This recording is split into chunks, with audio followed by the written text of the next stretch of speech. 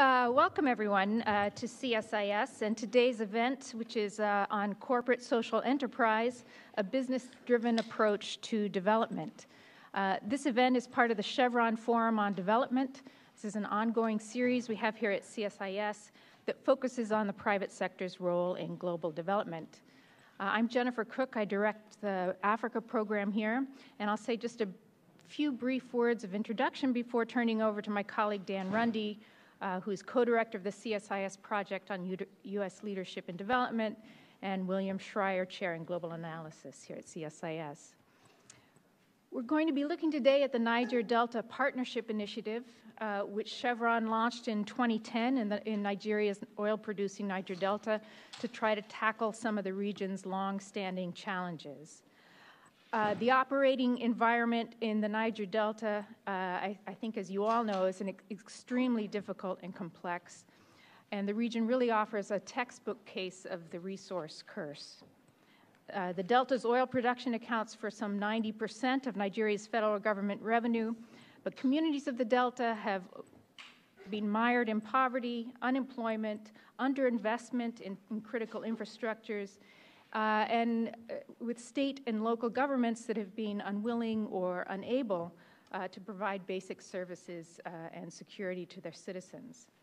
The political economy of oil in the Delta has entrenched powerful vested interests and stymied public investment in economic activity, activity outside of the oil sector.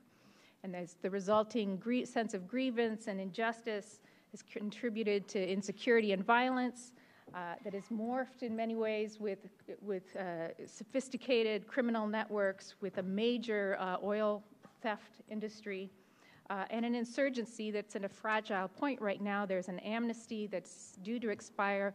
You have upcoming elections in Nigeria in 2015, which have never gone very well in the Delta and which promise to be uh, fairly contentious. In the midst of this, Chevron has launched this new initiative. And I imagine that somewhere in Nigeria, there's some vast underground bunker uh, that houses the many development plans, the master plans, the commitments, the commission reports, analyses, white papers that have laid out strategies uh, to bring development and security to the Niger Delta. Uh, but with the failure of the successive government efforts and these top down approaches, uh, companies have had to step in to fill the gap. Uh, and in the past, corporate social responsibility in the Delta has largely been understood as kind of a cost of doing business, um, mitigating reputational risks, giving social license to operate, uh, and maintaining good relations with the communities in your immediate geographical vicinity. So, building a school or a clinic, um, funding non governmental groups to do development projects, funding local community um, organizations to do traditional programs. These have been important, but they haven't had really the transformational effect that gets us the systemic problems uh, that make the Niger Delta such a difficult operating environment.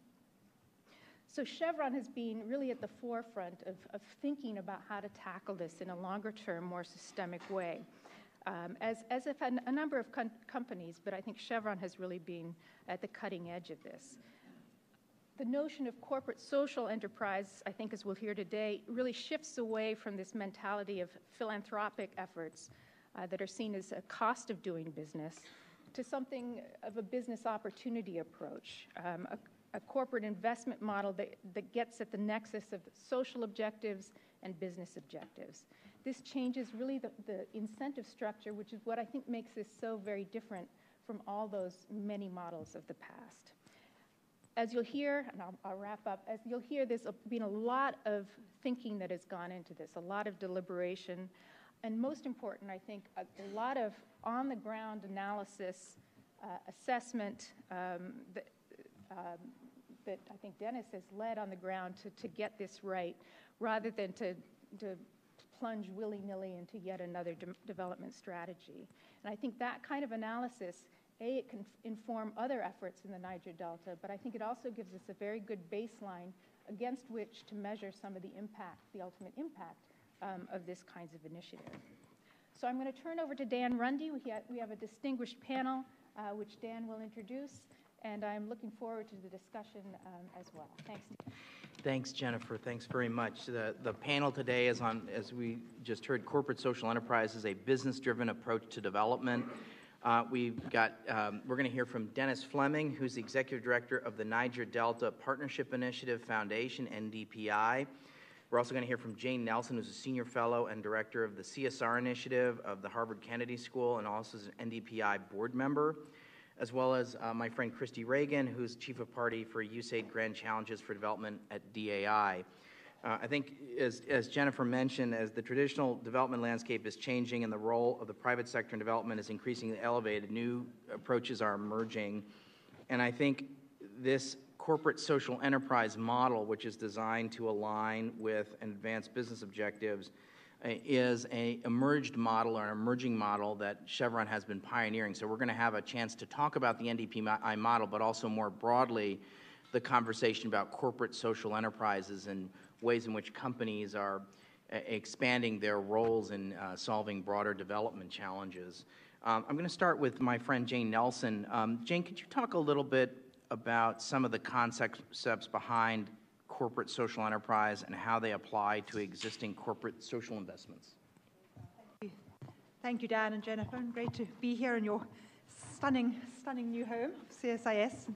Good afternoon, everyone. Um, I wanted to start by highlighting five um, key concepts that I think both underpin the model that um, Chevron is implementing in the Niger Delta, but I think also underpin sort of emerging good practice in your corporate social investment um, more broadly.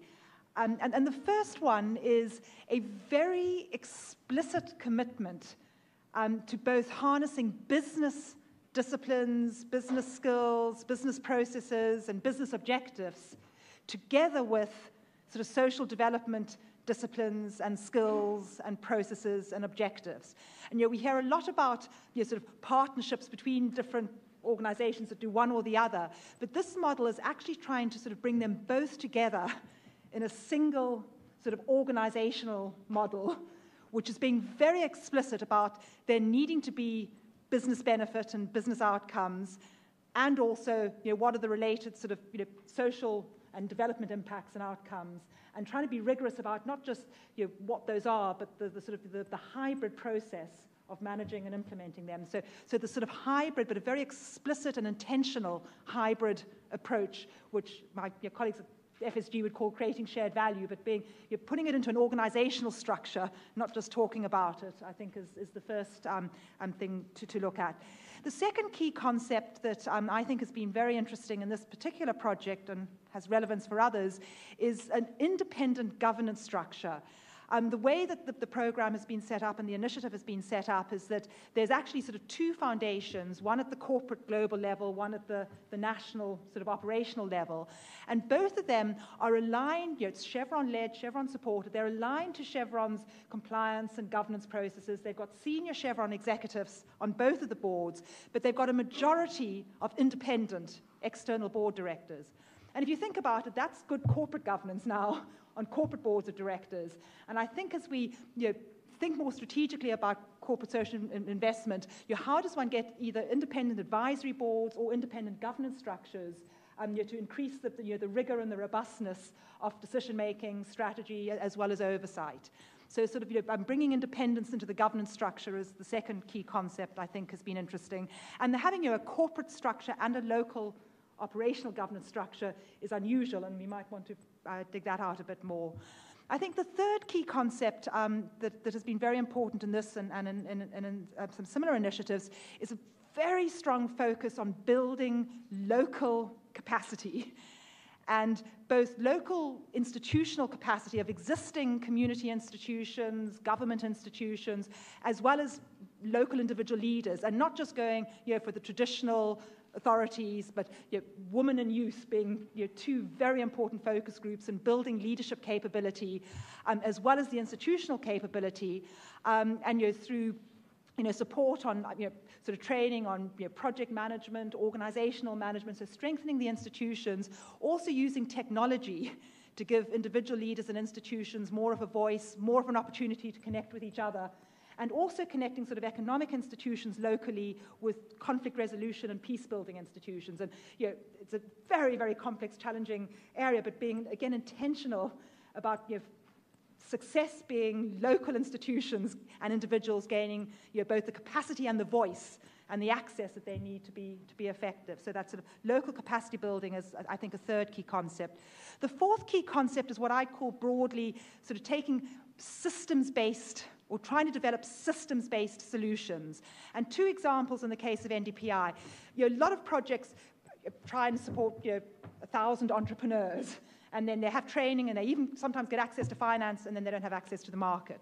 So one of the things that NDPI has been doing and working with DAI is saying, okay, what are several value chains? And we've taken cassava and aquaculture and palm oil, which can generate jobs in the Delta, can generate income, and let's try and understand the entire value chain and then work with local partners, you use technology to increase efficiency, productivity, and inclusion along an entire sort of value chain. So you're strengthening a market or a value chain, not just you know, supporting some individual entrepreneurs. And again, that's much harder, it's more difficult, it's slower, but I think you know, that systems approaches is needed.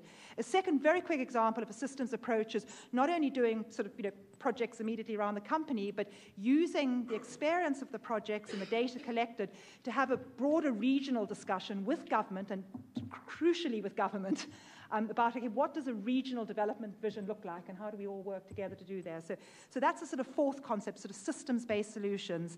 And then the fifth and final concept, which um, you know, Dennis personally, and I give you real recognition for this, Dennis, have, have, have tried to do is in you know, monitoring and evaluation is critical, and we all recognize it's critical. I think a lot of focus on M&E is, you know, what are we measuring and what are the metrics, which is very important. But the actual process of monitoring and evaluation is as if not more important. And one of the things that you know, Dennis has been a champion of is more participatory evaluation models. And you know, that's well known in the development community. It's less so in the, the corporate community. You, know, you do it with your consumers and your, your customers as a company, because you're not develop, delivering it, they, they're no longer your customers. But actually in community engagement work, making sure that when you're doing evaluation, the community leaders and community organizations are actually involved in both you know, designing evaluation processes, but also being part of the evaluation process, so participatory evaluation. So sort of hybrid models, systems-based solutions, as focus on capacity building, your independent governance, and a much more participatory approach to evaluation are some of the concepts that I think are in this model, but I think have important relevance for all social investment models. Thank you, Jane. Absolutely. De- Dennis, can you talk a little bit about the corporate social enterprise model in relation to NDPI and its specific structure? Um, yeah, I, I, think that um, a way that we've applied this, these concepts of the corporate social enterprise in, in NDPI, uh, you can find in, in a range of different ways that we, uh, um, uh, that we structured ourselves and structured our ability to work with, with other organizations. And uh, uh, Jane had mentioned the fact that we have two foundations that we've established, and that wasn't actually our original intention. We recognize the value of doing a, an initiative in, in this way where we're reaching out very um, aggressively to the donor community and to the private sector to work alongside us in trying to uh, um, achieve some social objectives that uh, um, it's best to do that at an arm's length from the company and from its core business activities. And so we recognize the value of having a foundation in doing that. And then it was mostly because of legal considerations that we recognized that uh, we had to have two foundations, one in the US and, and one in Nigeria. And um, it created a, a, lot of challenges for us in the sense that for every project and, and uh, decision that we do, we actually have to get approved by, by two boards. Um, and luckily, we find a very strong kind of alignment between the two boards of, of the foundations, and they complement each other. Uh, uh, we have one board in Nigeria which is very heavily focused on the operational issues and on managing the implementation on the ground, whereas the, the board for the foundation in the U.S. is much more focused on strategic issues and on um, uh, on donor outreach and, and making sure that what we're doing kind of uh, uh, aligns with, with others' interests and, and uh, um, uh, activities that they already have planned for that region.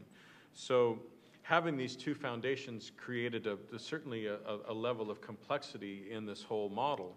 Uh, but we found that the, the this whole concept of having independent governance, for example, made a very big difference, where we have four independent directors and three Chevron directors on each of the boards. And I've found that that's really made a difference in terms of how the company looks at the governance role, that the, the company directors that sit on the boards of these foundations uh, can, can kind of focus much more on uh, where is the business value, whereas the independent directors focus a lot more on the, the social value. And uh, that helps us to get the, the right balance of, of interest within this, this model. And so the company has learned through this process that um, having independent directors on the board is, is not so much about ceding control as it is about adding value and that the, the company decision makers in, in a, um, a structure like this can, can really kind of let the uh, uh, development experts address the development challenges and issues within the decision making body, whereas the company people can make sure that it's aligned with the, uh, uh the corporation's uh, uh, business value that it's trying to get out of it. Um, and this kind of layered or segmented approach to structuring the um, uh, to structuring this whole initiative and this, this corporate social enterprise uh, has extended to the way that we even engage and, and contract our, our implementing partners and, and working in things where we recognize that uh, through our, our local foundation, which is, uh, uh, has a presence in, in the Niger Delta in two economic development centers that we operate from there, um, that we can use those, those centers in our programs in ways where we engage international partners to come in and bring in technical expertise, but not to take over the entire management of the projects and, and activities that we're doing on the ground. Instead, our foundation serves as somewhat of a hub or a catalyst for getting together international partners and a growing network of local partners to work together on the interventions that we're doing. And so we find this one is, is certainly a lot more cost effective in terms of how we're using our local partners, but even more importantly, it's building local capacity a lot more quickly. We depend very heavily on our local partners, and we're constantly assessing for every activity that we do how much do we need to, to depend on the international expertise of our international partners and how much can the local partners handle. And so it's, it's really kind of an, an adapted approach uh, looking at uh, um, uh, each individual activity, what is the local capacity, and how can we, um, we improve that. And then what that gives us is really kind of instead of one big partnership, it gives us a portfolio of partnerships to work within. And we don't ask donor partners, for example, to fund our foundation. The foundation is, is funded by Chevron, uh, and Chevron funds go towards the projects that we're doing. But we, we work more with the, uh, uh, the donor partners and, uh, and others at the, at the project level. Uh, we identify where are there overlapping interests, and our funding models for working together with donor partners take all shapes and sizes depending on the, the need that we're trying to address. So in some cases, uh, we give some of our funds to a donor partner to do the contracting and procurement, and we provide support to it. In other cases, we fund projects in, in parallel uh, where we're us and a donor partner are funding the same organization to do different aspects of the same project. And in some cases, we actually fund complementary projects where we're working under a common strategy, but a donor partner is funding one program and we're funding another, and we link them up in, in various ways. So taking this, this kind of a, approach to looking at each individual need and how do we piece together the right partnerships to work on it has been a really important learning for us, and, and it helps us to constantly recognize that you know the structure, the model that we apply needs to, to arise from the, the goals that we're trying to achieve, the outputs that we're trying to generate for a, a specific project. And we feel this gives us somewhat of an entrepreneurial approach to setting this, this, this uh, initiative up where um, uh, we're constantly adapting to the context, to the need. We're adjusting our plans as we see new opportunities, and we try to fill gaps where we see that they exist in, in uh, uh, ways that, that we can be a catalyst for more impact and more development. Jane, you, you gave a very uh, full description of, of some of the principles behind the corporate social enterprise. Could you talk a little bit about, based on Dennis's description, what you see as specific to NDPI, what's new and different about it, and or how it addresses some of the gaps that you've, you've seen in corporate social investment. Um, yeah, I, I think, um, thanks, Dan. I, th- I, think the things that are new and different, I mean, each of the components that I outlined and what Dennis has said you know, are being done elsewhere. And I think it's a you know, bringing together that um, is, is, you know, particularly uh, sort of relatively new, new uh, uh, uh about the model um, you know, this idea of having this you know, dedicated organizational structure, which doesn't have to be you know, separate, like it's been set up in this case, an independent entity from the company. A number of companies are setting up internal incubation units. Um, I think you know, Hewlett Packard might be in the audience um, for you know, creating sort of shared value models. So, but, but you know, sort of having a dedicated unit that brings together these different skill sets and mindsets and, and the right incentives I think is you know one thing that is um, that, that, that is different. And the independent board oversight is is you know, certainly not common. I mean, to me, I think the most two most exciting aspects of the model are you know, using um, you know, corporate foundation funding and social investment to catalyze making markets work more effectively for the poor and being more inclusive for the poor. And so, you know, business is market driven, and so often corporate philanthropy is totally unrelated to markets and making markets work. And so I think you know, that, that, that focus on making markets work and then understanding the link between markets and, and, and you know, poverty and access to income and exclusion and conflict and peace building and you're trying to you build linkages between those two, um, you're just particularly unique sure. and challenging in this context, but you know, as, as is also in others. So that sort of market-driven approach and trying to make markets work better is one thing I think that's particularly interesting that not as many other foundations and corporate initi- social initiatives are doing. And then I think the second thing that I'm most excited about is this sort of greater participatory evaluation model. And as I say, I think the development community has done participatory analysis and evaluation and monitoring for, for a while, but you know, for companies to be you know, much more strategic in, in engaging the, the, communities that they work with um, and the community partners in both design of programs but also evaluating programs, I, I you know, I, I, think is, is exciting. I do want to make one caveat, um, just in case anyone should think in the audience that, that this is the only thing that Chevron is doing or should be doing you know, in, Niger, in Nigeria and in the Delta, and that you know, one of the challenges, and I think it is a challenge for the initiative, is how you align a program like this, which is about you know, harnessing social investment dollars to be most effective for development and the company, with the company's you know, human rights programs and risk management and grievance mechanisms with communities and participatory agreements with communities, with you know, local content programs, building local suppliers, local skills, and indeed, you know, with working with government, in the case of the oil and gas industry, on revenue management more generally. So, you know, this is a particularly challenging industry sector and, and, and country, but you know, so this is one component. And you know, one of the, the, the key challenges is how you take your social investment, make it as strategic as possible and as participatory as possible, which I think we're doing here, and then how that links you know, to the other things the company is doing you know, to ensure that its overall development contribution and footprint um, is positive at both the national, regional, and, and local level. Thank you very much. Uh, Christy, you've been working on partnerships for a long time, and DAI has a partnership relationship with Chevron uh, in around NDPI. Can you talk about the opportunities that uh, this corporate social enterprise model poses for development partnerships, and can you talk also about what are some of the incentives behind joining a partnership like NDPI, and as well as specifically from your perspective as an implementer, what's, what's your experience with, with these partnerships? Wow, that's three. Okay. Um, let me take the first one. What are the big opportunities around this model for partnerships? Um, I see two huge ones and a number of other ones, but the big ones I see are it's an opportunity, I think, to break down the exclusivity and, dare I say, even some elitist qualities that have developed around a lot of the partnerships. What do I mean by that?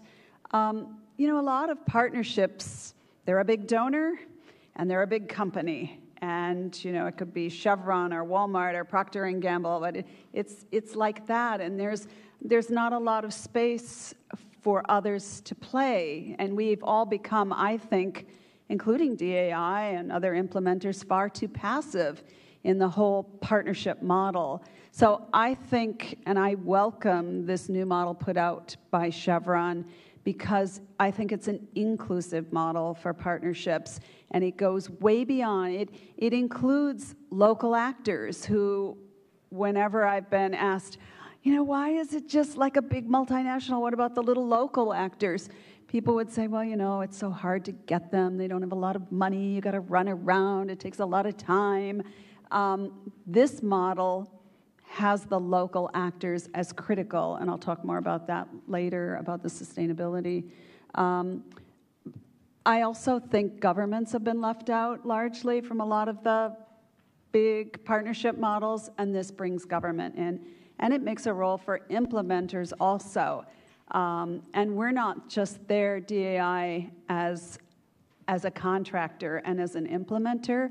I think one of the things that's been really hard to even convince and tell people about at DAI is that we are partnering with Chevron. Yes, yes, we are getting resources and we have a, you know, we implement and we get we get money from them, but we're a partner and it's different. So I want to say that it's a huge opportunity to have a greater, more inclusive model of partnerships. The second thing I'd like to say about this opportunity is that it's um, it takes partnerships as a model, and it actually doesn't just have them at the beginning forming this, this entity that then does a project. It actually takes the partnership model and says, you know, we need to be doing partnerships all along and throughout the implementation of this undertaking. So that means that Chevron is forming a part, and it may bring in USAID, and it may bring in DFID, and it may bring other donors in. And then um, I'm just coming from a lunch where they're trying to engage a number of other private sector actors at a at a large global le- level, other organizations, trade associations, civil society. Then you get down to the local level, and you're using the partnership model all the way along, along the value chain analysis and everything else. So you're integrating and actually demonstrating the value of the partnership model, not just to create something at the start and get some money, but to actually use it to solve the problem. And I think that's new and fresh, and I think that is really building um, a more robust model. Um, I think this model also, it it really tries to get beyond this distrust of business interests and builds around the business interests. Um, it, it really looks at markets and enterprises and the value of, of business all the way throughout Chevron's business model as well as local businesses.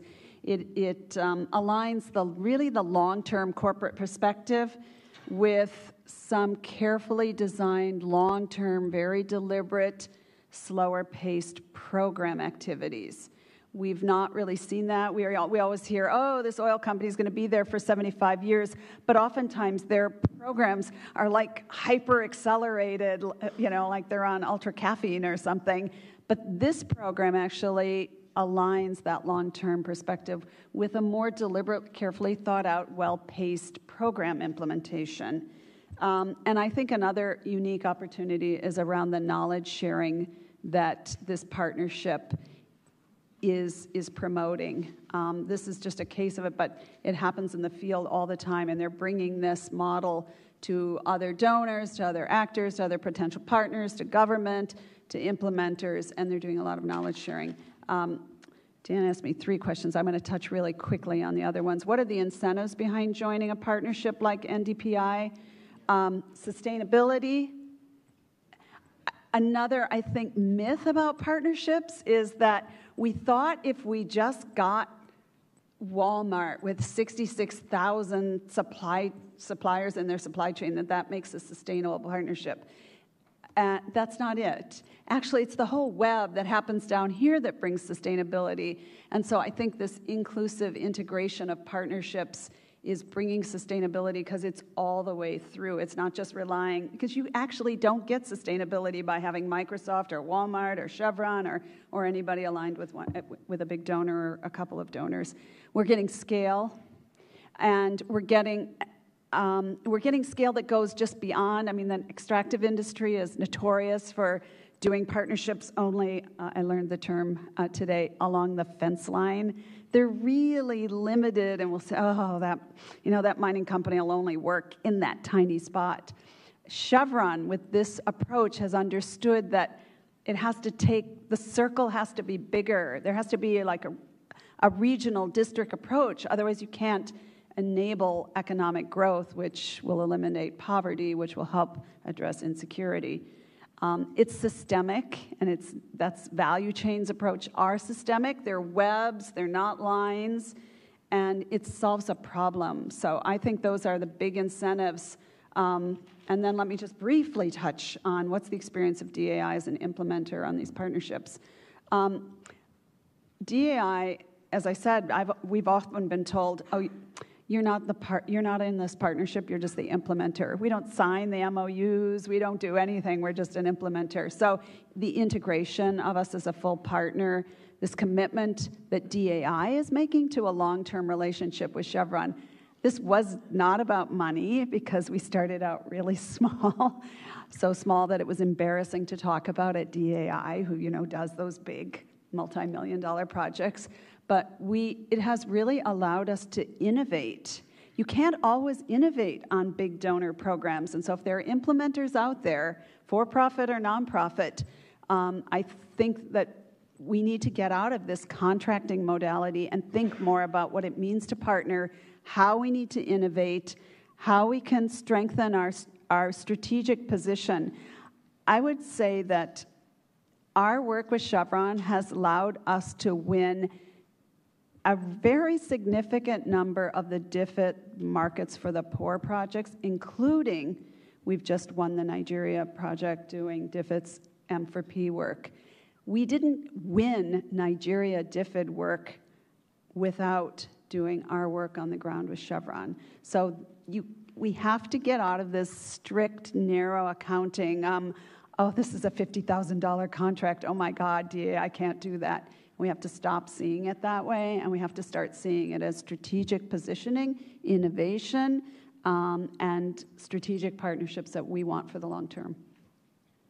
Thanks, Christy. Uh, Dennis, can you talk a little bit about how NDPI is implemented on the ground and how it supports economic growth and long-term stability in the Niger Delta? I think this has been throughout the conversation so far, the balance of economic growth and, and, and managing, dealing with this issue of, of conflict and managing, managing that. Um, yeah, the, uh, um, the interest in, in what we're trying to accomplish with this, this initiative is, uh, um, you know, looks really at, at kind of the, uh, um, uh, the, the interplay between economic development and conflict in the region. And so that had a, a, big impact on the types of programs that we designed to, to do and the, the, the role that the foundation plays in, in uh, um, uh, being a catalyst for development in, in the region. And um, one of the, the ways that, that we looked at it is, is we, we took a real kind of a systemic look at what are the enablers, the systemic enablers for economic growth in the region, and uh, how does economic growth affect uh, or reduce conflict, and how does conflict in turn reduce economic growth? And, and so we, we put a lot of effort into analysis, and we reach out uh, uh, in a big way to a lot of different stakeholder partners in doing that analysis, figuring out what we wanted to do, but also how we could pair our resources with uh, uh, other donor resources to try and, and address those, uh, those challenges. And so our activities in the field really kind of center around our economic development centers. We have uh, one in uh, Warri in the western city of the, of the, or the city in the western side of the Niger Delta, and one in Port Harcourt on the eastern side.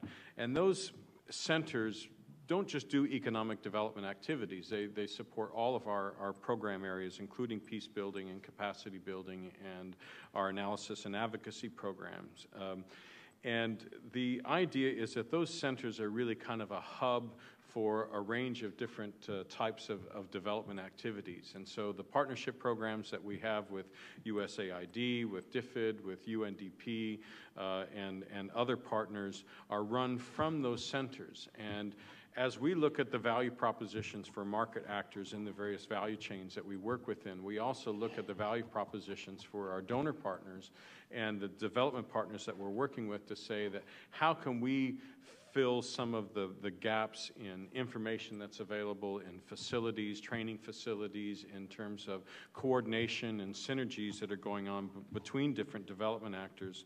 And we use those economic development centers as a place where all that happens. We have, if you go through any of those centers, you'll see staff from a number of different implementing partners. We have uh, regular visits from our, our, our donor partners, and a lot of sharing of information, a lot of sharing of training opportunities. Uh, we look at, at who has the best skill sets to offer in particular uh, types of uh, interventions that we're doing with the communities and also with the local partners, the facilities that they don't have available.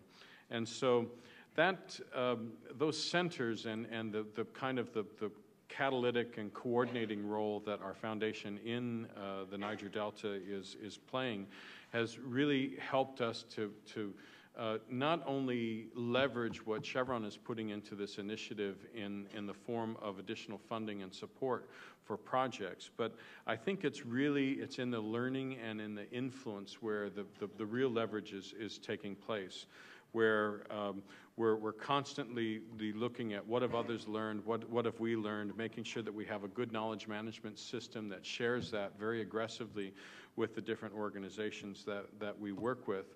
But on, on top of that, um, doing it in such a way where, where everything is really sustainable, that, that we're constantly analyzing what are the impacts, what are the, the, the, the best practices that are being applied in such a way where um, we can see the, the, the, impacts and we can scale them up whenever they're showing promise.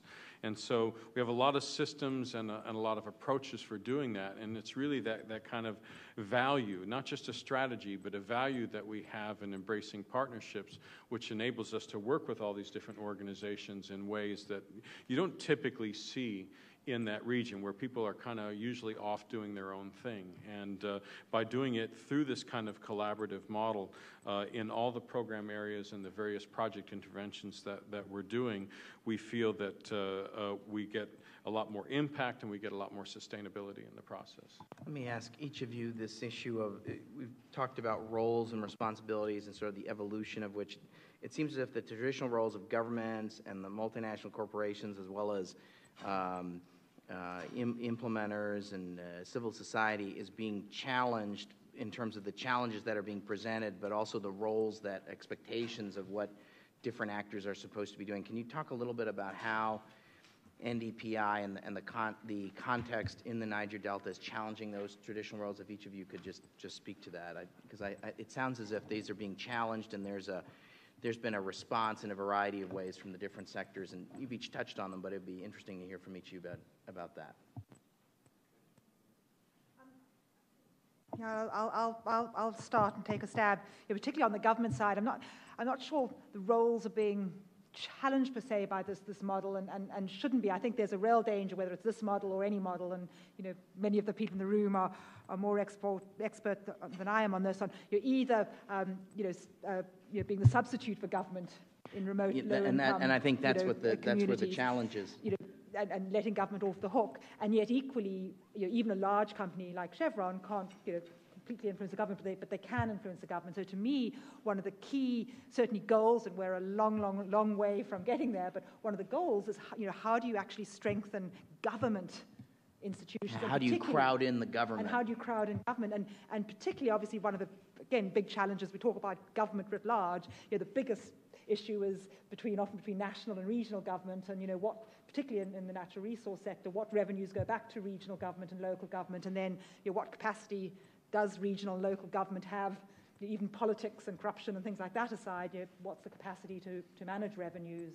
And so you know, working and to some of the, the, policy dialogues that have been happening at the regional level, you're trying to um, create a, a, shared vision and again, this has been tried in the Delta before, so it might not work, but it, it sort of seems there's a, because it's more data driven as well, and a lot of research and analysis has been done by NDPI and others, you know, how, do one, how does one get a conversation going that's creating a shared vision with government, but also with donors and others, you know, trying to build the government capacity rather than replace government.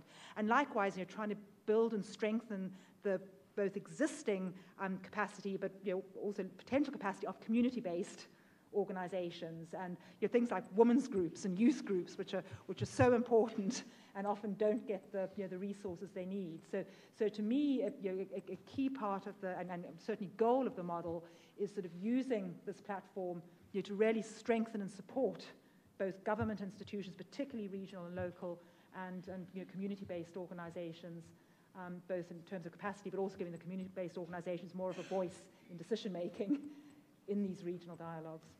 Dennis, I'm sure you've seen this time and time again where the, companies look to step in and take the place of government. And obviously, you, you explicitly have tried to avoid being sort of caught in that trap by, by the way you've designed NDPI. Can you talk a little bit about a little bit more about how you, you crowd government in and how you support capacity building? Because I do think this is this is one of the critical challenges.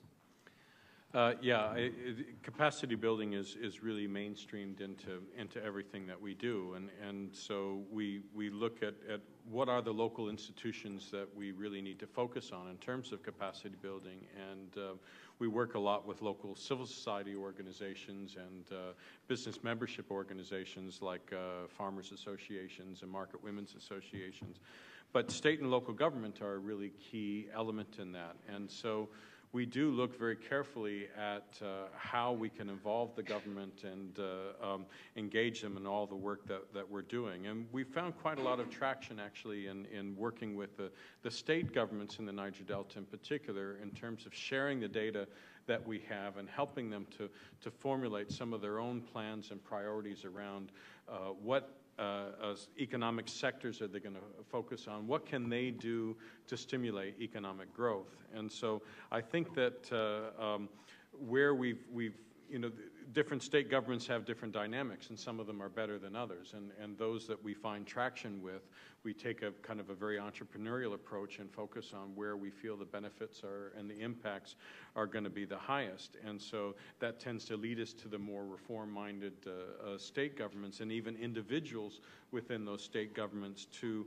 understand what government really needs to do to stimulate economic growth. And, and so we, we see that engagement, I think, as uh, uh, it, it really helps to, to get the government to think about the policy angles and the, and the legislation rather than a heavily subsidized government approach to economic growth, which is what a lot of the, the government entities really think about.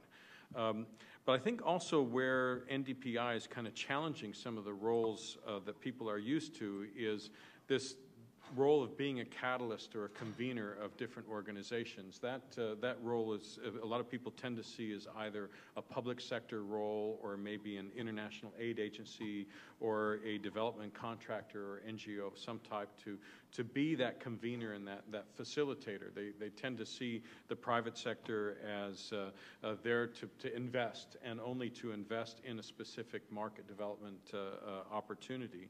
Um, and that's where we've been really kind of challenging to say that uh, if no one else is playing that role, we will. Our foundation will step in and try to be that, that convener because we have that much stronger commitment to partnership and collaboration than most of the other organizations have. They all embrace those concepts but they're not structured in such a way to, to give a mandate to people within their organization to make that a requirement. Whereas with us, it's, it's kind of factored into the, the very DNA of the organization, this whole concept of partnering.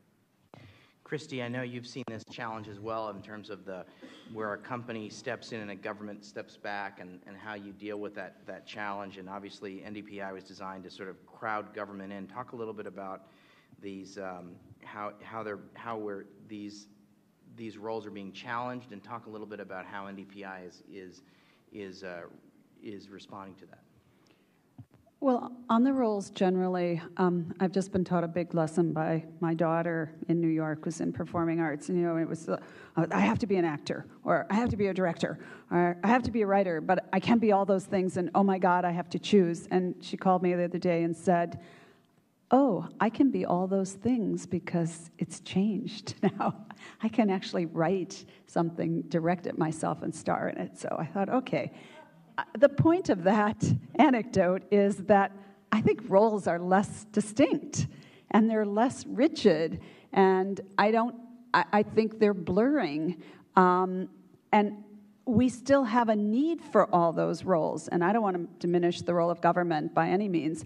But I've learned a big lesson um, working on the grand challenges where I thought, you know, ugh, why am I trying to get non traditional actors involved in health and education? Because only the government can provide that. And then suddenly I see that these Bollywood guys who put some subtitles in local languages have gotten a, you know, an 18% bump in literacy, or the cell, the cell phone provider who um, is getting data out of classrooms or in, out of health clinics is having a huge impact on.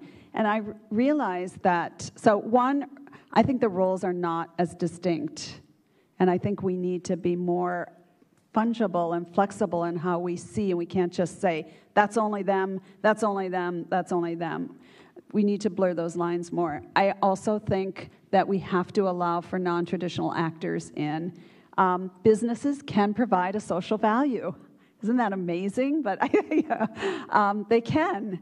And um, I think the other thing about non traditional roles and expanding that net is that we have to understand that as we get more actors in, that they do need to be mentored. They don't all have the capacity to perform in the various permutations of their roles. And I think that's one of the things that um, Chevron's approach has been doing really well, and that is taking a long term approach to mentoring. I've been working a lot with accelerators lately, and I realized that one of their chief complaints is that the mentoring just comes in for a year or two months or one month. And mentoring has to be periodic and it has to be over the long term and it can strengthen the different actors' roles. And I think that is one of the real assets that Chevron has on this approach. It is a sustained mentoring and it recognizes that these roles, these new actors, new non traditional and traditional actors, have to be strengthened in their roles through mentoring, through capacity building, and there's a long term commitment to that. I'll stop. Great. Let's open it up for Q&A. I think there are a lot of thoughtful people in the room who've worked on partnerships for a long time, and um, I'd love to hear from a variety of folks uh, here. Uh, I'm gonna let's call on this gentleman here, gentleman back there, and then let's see and then this, these, these three folks first. We'll go for these, these, these three folks. Okay. Oh, great. Thanks. Chris Jochnick with Oxfam. Um, I think this is a really interesting model, and of course, we at Oxfam are always pushing for more holistic approaches and more collaborations, and so, uh, of course, I think that's all to the good. But it strikes me that um, if you're going to get to the root causes of poverty in a place like the Niger Delta, it's tough to do that without thinking about the, the resource curse, because Nigeria really is the poster child for corruption and inequality and conflict, all rooted in a lack of transparency and accountability and basic governance. And um, Chevron has a unique role to play in that because it's been a part of that problem in other situations, and because Chevron has so much leverage and voice and influence to address those issues. And so, um, my one question is how do you juggle that, that critical role of addressing corruption and accountability and being a voice for change on that front with your, your other, you know, the, the, other projects that you're doing there. So how do those two things fit? And Jane, I think, raised that, but did it so diplomatically that it might have glossed right over. Um, the second point is, if you're not doing those things, if you're not addressing the underlying roots, how do you bring on groups that are concerned about those? Or how, how can you be a convener sort of a, a, good faith convener when a group like Oxfam, for example, would have a really hard time collaborating in a context like that if we didn't think we were going to address some of those root causes. And so you're sort of crowding out some of the critical stakeholders if you're not going to address that. And so those sort of two parallel questions. This, this gentleman back here. Thanks. Yes. Uh, and then, sorry. Okay. Hi, my name is Dan Silverstein. I'm a consultant. Uh, you've talked about everybody who um, can benefit from what sounds like a really wonderful program. I'm wondering about what do your competitors think of this? Okay, and then this third gentleman over here. Hi, David Greeley with Accordia Global Health. Um, I want to ask a question about sustainability, financial and otherwise. Uh, but just relate very quickly the story of our organization, which, with the support of Pfizer, set up a similar $50 million program to set up the Infectious Disease Institute in Makerere University in Uganda. Enormously successful, has all the components, Jane, that you mentioned, plus a policy and advocacy role. Um, 50, 60 million dollars, other corporate partners got involved. Now, with an independent board, independent staff, is raising $20 million a year for its operations. Pfizer's not putting any money in. That's the good news. The bad news is it's still very donor dependent. It's still receiving all of its money from PEPFAR and the usual grants. Um, the government is putting a million dollars of that $20 million a year, the government of Uganda. So my question really is, with regards to uh, this project, it's great, $50 million from Chevron, another $50 million leveraged with other donors. But how can there be financial sustainability? And can financial sustainability come about if, unless the government itself uh, plays a role, including in the finances of that? Okay, it seems like most of those are directed towards you, but I suspect the other panelists will have points of view on, on and some of the, or all of those.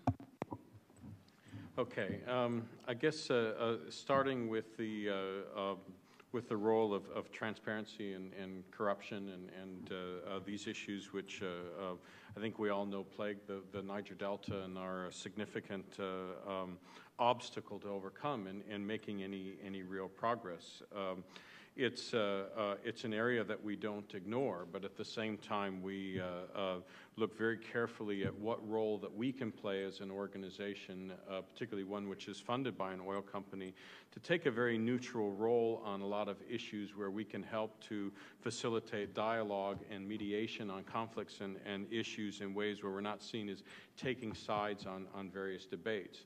Now, we've been working with a, a, number of different activist organizations, ones that openly criticize Chevron on a range of policies and, and issues, and we separate that from the work of the foundation. And we've had a number of organizations that, um, that we've been working with that at first said they wouldn't work with the foundation because it, they saw it as an arm of Chevron. They saw that it was uh, uh, that that it was kind of uh, sleeping with the enemy, so to speak. And and um, and once they found that that our activities, our programs, were really kind of divorced from the uh, the the the company's role and, and business activities in, in the region, that we could work on, on a range of different issues, that, uh, um, that that you know, th- that that was something that they could do, that they could accept working with us. And uh, it doesn't mean that that's an endorsement in, in some way on their part of what, uh, uh, what Chevron is doing. And the, um, the dialogue with Chevron continues on a lot of those issues. So we don't try to replace that or take on that role. We, we are about development and we found that we can work with a lot of activist organizations in helping them to link up with, with partners and get involved in, in dialogue with uh, uh, various uh, um, development actors in the region that maybe they weren't uh, doing so before. Um, in terms of uh, uh, what do Chevron's competitors think of this, um, it's been a bit of a challenge to get uh, uh, different companies in the oil industry to collaborate on uh, social initiatives, social investments of various ways. There have been some examples of that. Not all of them have been really good experiences for the, the companies. Um, like we've been indicating in a lot of the things that we've said so far, uh, a, a, key you know, element in this approach is just looking at what it is that you're trying to accomplish and figuring out the best means of doing that, not always following a traditional approach. We find that, uh, for example, if we want to um, uh, pair up with other oil companies to uh, do a, a, local content initiative or, or something uh, that we can use a lot of informal mechanisms and get a lot of influence, and we get a lot of uh, collaboration going at the practitioner level. And it's only when we go to get into very kind of uh, high profile public partnerships with the companies that it gets a little bit more complicated in terms of addressing the competitive issues. And so it's just really how do you engage? You know, the, our foundation is, uh, uh, is open about its support from, from Chevron, Uh, but we work regularly with other companies and give them data and guidance and input as to how to do their own economic development initiatives uh, so that they can learn from what we're doing. And if we see better development activities going on, everyone wins in that process without necessarily turning it into some sort of a formal partnership between a company like Chevron and a company like ExxonMobil or, or Shell or, or someone else. Um, in terms of the sustainability, um, it's, it's, something that, that, that we kind of learned and that we thought about more is, is that, you know, I've never been a believer that, that, you know, sustainability strategy should be just getting others to pay, you know, what, what your initial donor is, is putting into it. It's, it's what is the sustainability of, of the initiative from a point of view of um, what does it take to keep everything going? we started to notice that uh, uh, if you make a kind of a really clear distinction between NGOs, civil society organizations that are dependent on donor funding, and uh, um, private sector consulting firms and development contractors that are working in the same kind of development space. None, the, the private sector ones are not necessarily any more sustainable than the nonprofit ones. And at the end of the day, it's a market system, it's a supply and demand issue. And so we look at our own foundation, for example, from how is it meeting demand? That demand may be from, from aid agencies and other donor partners that are going to be giving out grants or development contracts. It may also be uh, uh, banks and private sector investors that are interested in the agricultural value chains that we're trying to support. And that if we look holistically at the market for economic development services, then that helps us to, to keep the foundation relevant. It stays within its mission of what it's trying to accomplish, but it recognizes that there is a supply and demand equation that it constantly has to be uh, uh, addressing to make itself relevant in the long term, and that relevance will help it to survive through either donor funding or uh, uh consulting revenues or training revenues or any other way of keeping this mission and this institution going. Jane, maybe you could speak to any or all those. Great, yeah. I think very, uh, picking up on, on um, Chris's very important point, and, and I apologize if I was too diplomatic about it, but you know, there's no doubt that you know, so NDPI is you know, a corporate social investment model, and, and, I think a very, very innovative one. You know, there's no doubt that Chevron or any other major company in this industry sector has, you know, to me, you know, two enormous responsibilities in, in the area of you know, uh, managing the, the, the, broad macro challenges. And one is just asset-based you know, risk management and due diligence, and you're being able to demonstrate, you know, as John, Professor John Ruggie would say, you know, know and show you know, both your, your, potential negative impacts on, on human rights and the environment and safety, etc., and demonstrate you know, that you're doing due diligence and you've got systems in place to manage those risks and, and being absolutely rigorous about that in you know, the, the, the, sort of the operational based integrity of what the, what the company is doing. And, and obviously, the sort of respect for human rights has now become a central component of that. And I personally think we're going to see you know, more of what we're starting to see, and Oxfam has you know, written about this, um, you know, sort of independent panels assessing that as well. And your IFC funding now requires that type of process for project development. And I think um, you know, the sort of independent overview process that we're talking about here, we'll, we'll probably see in the asset-based risk management. But so, so there's that component which each company is primarily and its operating partners are responsible for. And then I think there is this incredibly difficult aspect of revenue management um, and responsible resource revenue management. And you know, to me, there's several components. There's the transparency piece. And again, 10 years ago, we weren't even thinking about transparency. We've come a long way with things like the Extractive Industries Transparency Initiative, but we all know there's still a way to go. And you know, to me, you know, what countries, companies do collectively at the national level around revenue transparency, you know, there's a lot of opportunity there. And you know, Nigeria's got some interesting models beginning to, to evolve there. But then it's not just the revenue transparency piece. Even if you know, there's sort of more transparency and less corruption in the payment, it's then, you know, what are the revenue management models, sovereign wealth funds, you know, how do you uh, address some of the macroeconomic impacts of Dutch disease, etc. And again, you know, it's not an individual company's responsibility, but what is industry doing with donors, you know, to just, again, sometimes often just build basic government capacity to set up sovereign wealth funds or, or other you know, mechanisms uh, to, to do the macro management of the revenues. And then thirdly, and in some cases most challenging of all, is then the benefit sharing. and you know, more and more countries, as we know, have a benefit sharing agreement between national government, regional government, local government, and sometimes between landowners and local communities, like in Papua New Guinea. A, you know, how much money actually gets to where it should get. Once it gets there, how is it managed? And that, I think, then you know, comes back for you know, companies at the, you know, the operational level um, to try and build some of the, the, the, local capacity. But, but so, you know, it, it, there's no doubt that you know, the entirety of both the, the company as well as companies working collectively um, I, I, think are recognizing the root causes now much more than is done in the past. Um, but we've, we've, we've ways to go in those areas. Um, but, you know, I think we're beginning to move in the, in the right direction. And, um, you know, sort of encouraged by the, you know, the NGO community being, being critical as well. And I think it links to the question on competitors. You know, there, that is an area, you know, safety is one area where, you know, there's every reason for competitors to work together. And I think this whole area of, of, of revenue management and transparency, um, you know, is, a, is another area, and obviously very mixed, mixed results so far, and, um, uh, but um, where we are going to need more, um, you know, progressive uh, collective action, particularly at the, at the country level. Christy. Yeah, just briefly, um, just on that, what do your competitors think of it?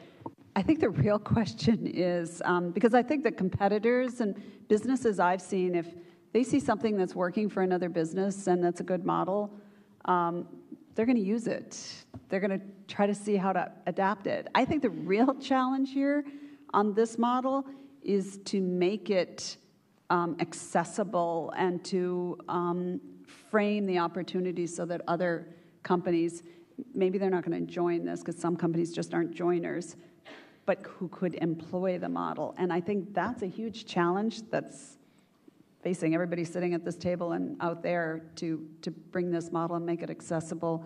Um, on, I just want to say something on sustainability, and I know that um, Dennis addressed, addressed the institutional sustainability. Um, I just want to flag that you know the real outcome Chevron's seeking here is to um, improve the lives of 32 million people living in the Delta, so that their security and their risk to their business is is is better managed. Um, but it deals with the lives of 32 million people that are pretty poor. And I, think the very careful selection and the employment, and I, I feel that that's DAI's role and responsibility in working with Chevron on this is to bring a lot of years of experience on how do you address poverty through markets, through economic growth, not through writing checks and, and you know, handing communities cash. Um, and the whole selection of a value chain approach was very deliberate and those studies were done very carefully, and they were done slowly because we didn't just go in and do them, by the way. We actually trained the local capacity to do them um, and to continue to do them after a DAI would be out. And the value chains that were selected palm oil, cassava, and aquaculture, catfish um, they were selected for growth. They were selected for employment, and they were selected for income generation potential. And that, for anybody working in development, that's the heart of where sustainability lies. So, just for 32 million people living in the Delta, whatever happens to the foundations apart from that, um, if these markets work and there's income generation and jobs, there's sustainability there. Just looking at, um, see if I make sure I don't miss anybody on this side. Nope. Okay. So, okay, on this. Okay, Tony, thank you. Sorry, it's it's a Tony, I'll, I'll, Tony, and then this woman back here, and then Andrew Mack. Dennis, um, I think if I was 30 years ago to pick the perfect job person of combination of Indiana Jones and a Peace Corps volunteer, you've done it between uh, Papua New Guinea, Angola, and now the Niger Delta. Um, Tony Carroll, Manchester Trade, and a senior associate here. Um, I want to talk a little bit about the political game. Uh, Nigeria has sifting political sands at all levels. Um, recently, a, a, a, large governor in the Delta split from the ruling party. Um, you have um, lots of changes and lots of complexities at all levels. A, um, how do you manage that process? And B, how do you build constituencies for your project beyond the political spheres? Do you use public media? Do you use engagement at all levels? Because it seems to me the best way to insulate yourself from political change or vulnerability to political change is to broaden your constituency of support. This, this woman here. Hi, just to build a little bit on the last comment in terms of, and actually an earlier comment, in terms of the actual impact that we're looking for here. Can you talk a little bit about how you are measuring success and what the measures are, um, maybe the timeline of when you expect to see impact, and if you have any examples, anecdotal examples of impact to date? And if you pass it back to Andrew. Uh, thank you. Andrew Mack, AM Global. Um, I'm going to actually uh, I'm going to make a comment as to something that Christy said and then p- pick up on something that Tony said.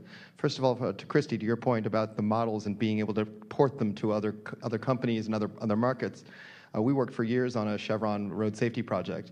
And one of the markets that we worked in was, was, was, was Uganda. When Chevron pulled out of Uganda, a real testament to how well that, mo- that model worked was that they were no longer there and all of the other partners stayed with the same model. So it is, once people see it working, it, it really has its own stickiness, it has its own life, and that's a good thing.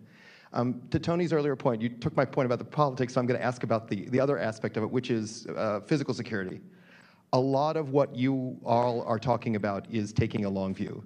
And I think we'd all agree that that's extremely important, especially if we want to bring in non-traditional stakeholders, talking about building their capacity and, and actually creating the space for them to, to participate. But when you're talking about a really un, unstable environment, physical unstable, you know, rebels and the like, and when you're talking about a lot of the major underwriters being interested parties, because you're interested in stability, you're not necessarily interested in change. How do you address that, and how can you maintain yourself more or less, if not as an honest broker, at least as an honest partner in that context. Thanks. Okay, Dennis, again, a lot directed to you, but I'd love to hear from the other panelists on this as well. But please, Dennis, go ahead. Okay. Um, well, I guess in, in terms of kind of uh, uh, handling the, uh, um, uh, the, the pace of, of political change and uh, um, the challenges that we have in, in, working with a number of different government institutions where there is a lot of, uh, of, political dynamics that we need to be aware of and that can affect our, our, our programs. I mean, that's a, I think it's an ongoing challenge that virtually any implementing organization faces wherever they're, they're working. You, you have to strike that balance between working with the government and engaging them uh, to be a partner in the programs and to be supportive of what you're doing, and at the same time not necessarily relying upon them so heavily in your program implementation in ways where if there is suddenly a, a, a change of a key uh, public official or uh, a change in, in political priorities that your, your uh, project isn't uh, um, uh, isn't stuck in the in the middle of that uh, that situation. And you know, it's an ongoing challenge. Um, but one of the things that has made a difference for this, this model and for Chevron's approach and what we're trying to accomplish is the fact that we are taking a regional approach. And so, like even the example that you mentioned in, in some of the uh, political divisions that have been occurring within the, uh, uh, the ruling party in Nigeria, um, uh, the fact is that, that we have structured our, our programs and our, our priorities in such a way where we can shift if there are challenges or problems that are holding back our ability to, to work with a government partner and, and get things done. And given the fact that there are nine states in the, in the Niger Delta region, uh, we have the, the opportunity and the, and the flexibility to kind of put the challenge to them to say that we will work with those states that are the most reform minded. We will work with those, those states where we can get enough stability and uh, alignment in policies and approaches uh, to be able to, to get something done. And so that regional approach makes it a lot easier for us to, to, to shift uh, gears to, to change priorities and, and even clusters that we work within uh, based on, on where we can get the most traction within the, uh, within the government. Um, in terms of, of measurement of, of success, um, we are, uh, are, fortunate to have a lot of really useful guidance out there in terms of the Donor Committee for Enterprise Development Group, which has a lot of guidelines on uh, uh, measuring economic impacts, uh, uh, designing results chains, which helps us to uh, identify clearly what we're trying to achieve and the indicators that, that we're trying to measure building up the capacity to do that well takes a long time, and uh, we've invested a lot in it. We've made a lot of progress. We have a long ways to go, and uh, um, I think when it comes to measuring the socioeconomic impacts the tools and the, and the techniques out there for doing that are a little bit better defined. What we're struggling a little bit more with is identifying the business value. How do you measure the business impacts for Chevron so that we truly get this uh, shared business and, and social value? And, and we're, we're putting effort into that, but we got a lot, a lot more work, work to do in, in that regard. Um, and then lastly, in terms of, uh, of physical security and uh, um, you know, how we work in this really dynamic environment where we have a lot of these challenges and, and these risks. And of course, these risks affect our ability to, to do things. We uh, operate in an area where others have, have been reluctant to go, and we've had to structure our, our programs, our support networks, our uh, um, uh, even our physical facilities in the field in such a way where we can entice other partners to come in and do it. We can satisfy them that we have a good, strong uh, uh ability to. Uh, um, uh, to identify the, the, the, security risks and not put our own practitioners and partners at, at, risk. And, and that's an ongoing challenge. But one of the things that we found is, is that in addition to kind of the traditional security resources that a lot of the oil companies use in the area, which we, we draw upon as, as well, uh, we also draw upon the resources from our peace building program and the conflict early warning mechanisms that we've put in place with civil society organizations to help us identify where are the hot spots, where is conflict brewing in such a way where these security risks are going to pose a, a problem for our staff. And before the other panelists um, speak, I want to put Pauline Baker on the spot, who's the former president of uh, Fund for Peace, but also is an NDPI board member. If you could just, I'm going to ask Akari to come up. I'm sure you'll thank me for this later, Pauline. I'm sure, but but but but if I, just you just given the work that you've done on conflict, I, I, thought it would be interesting just to hear from you, given that you you sit on the board of NDPI, you'll have a particular perspective on this issue of the security issue and conflict. Yeah, um, well, I think I'm glad actually you did raise that because I think again one of the unique features of this model is that it recognizes the link between economic development and conflict. Um, and that's very rare for a corporation to recognize that. A lot of people pay lip service to it, but they don't integrate it into their programs. So there is a peace building component to this. And it's doing something remarkable. It's actually building a network of peace agents. Over 300 individuals and organizations have signed up for it. There is a website, there is um, a tracking of incidents. People are reporting where incidents are breaking out. And conflict usually arises at the local level, a lot of times for peripheral reasons. It's not, it's not for anything that has to do with uh, you know, large national issues. It could be resource competition, it could be the dethronement of a local traditional leader, it could be all kinds of things. And that allows them then to track the drivers of conflict and then relate it to the network that they're also building on the economic sector. So it not only helps them in terms of protecting their staff, knowing where the hot spots are, uh, but it also gets again to the systemic drivers of conflict and identify what those are, how many of them are economic, how many are them not. There are a lot of them that this model will not address, but there'll be some that they will. But what will be left behind would be this network of peace agents, people who are getting in touch with each other, who are collaborating, who are discussing the drivers, and this is really important in the Niger Delta as the next two years arise because there's going to be a general election in two years. And the amnesty for the militants are going to expire that same year. So there are two events that are coming up that are going to increase tensions in the Niger Delta. And there will be a peace network that, that uh, PIND has created and, and working with the Fund for Peace that is ready to respond to this and have early warning. Um, and what we have found in those kinds of experiments is that the network usually comes up uh, on their own with interventions of how to stop it and stop it locally by the people themselves. It doesn't have to be a government intervention. So, this is again another dimension of it that I think makes the model uh, extremely useful. I'd like to hear from uh, Jane or Christy. Oh, here, here. I totally second that, that broad, well integrated partnerships can offer a buffer um, from the political and a basis for peace, and totally endorse that um, economic growth, market fo- focused activities also are, are, are, are peace strengthening. I, I did want to um, flag one thing about the success. Um, so here's one. Chevron took 12 months to do the value chain studies Um, okay, 12 months. Let me say it again. That's a success story in my view.